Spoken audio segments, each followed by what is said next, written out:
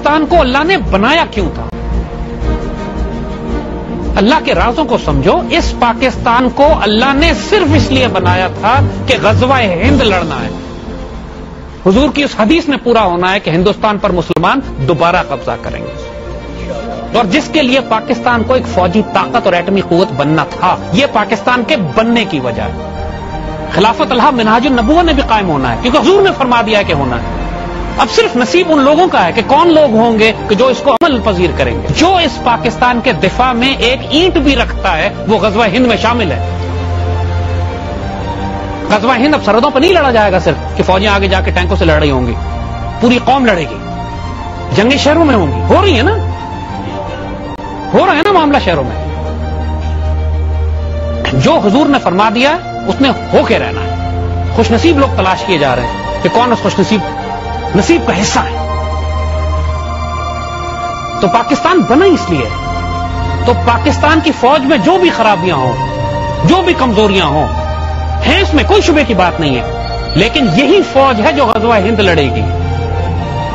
यही फौज है जिसके पास आज हमारे एटमी हथियार है। यही फौज है जिससे पूरे दुनिया का कुफर सबसे ज़्यादा खौफ खाता है। इस हिमाकत में ना पड़ जाना कभी। कि अपनी फौज की टांग घसीट के गिरा दो, ताकि उसके बाद पूरी मुस्लिम दुनिया की आबरू बिक जाए। सिर्फ़ मुसलमान दुनिया में तुर्की अब एक ऐसा मुल्क रह गया जिसके पास एक फौज है। बाकी पूरी मुसलमान दुनिया की फौजें खत्म हो चुकी हैं, या तुर्की है या पाकिस्तान। है और आने वाले वक्तों में आप देखोगे कि तुर्की और पाकिस्तान मिल जाएँगे।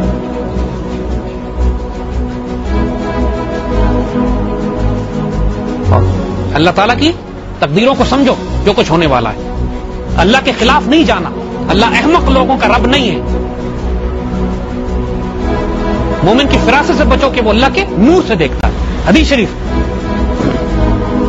अल्लाह का बंदा उसकी जो एट्रीब्यूट्स बताता है कुरान। ये तफक्रून फिखल समावात वलर गौर फ़िक्र करते हैं जमीनों आसमानों क्रिएशन पे। एनालिसिस करते रहते हैं। वक्त कहते हैं, रब्बन मा खलकता हजा बातिला। अल्लाह ने कोई चीज़ बेकार नहीं पैदा की। जीनियस लोग होते हैं। अल्लाह तो कीड़े मकोड़ों का भी रब है वैसे तो। लेकिन जिनका सही मानों में वो रब है, वो बंदा मोमिन होता है। शेर और दलेरों का रब। जिनकी बात सुनता और जिनकी बात मानता। है तो आँख कान, नाक, होश खोल कर रहे। हो वक्त नहीं है तुम लोगों के पास। अहमक और जाहिल लोगों के पास अब कोई वक्त नहीं है। ये सुमन बुकमन उम्मीद नाक नाक, कान बंद किए बंदा गूँगे, बैरे जो बैठे हुए हैं। इनकी सफ़ाई का वक्त आ गया। हम नहीं करेंगे। रब करेगा। हम सिर्फ़ तमाशा देखेंगे। और हम पहले वार्न कर रहे हैं, क्योंकि अल्लाह का अपना तरीका है काम करना। जापान में अल्लाह ने खुद सफ़ाई की ना। अल्लाह ताला की पकड़ से इंसान डरे। उनको तकबर यह था जापान वालों को कि हमने टेन रेक्टर स्केल तक हमने इमारतें बना ली हैं जो नहीं गिरेंगी।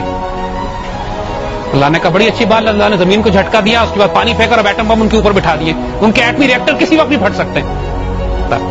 और जापान सबसे ज़्यादा पाकिस्तान के एटमी प्रोग्राम के खिलाफ बात करता था। अल्लाह की पकड़ देखो, अल्लाह ने उनको अपने एटमी प्रोग्राम में फंसा दिया। पाकिस्तान के खिलाफ जो बोलेगा, मार खाएगा। ये पाकिस्तान को छोटा नहीं समझो। ये बहुत बड़ी चीज़ है, बहुत ही बड़ी चीज़ है।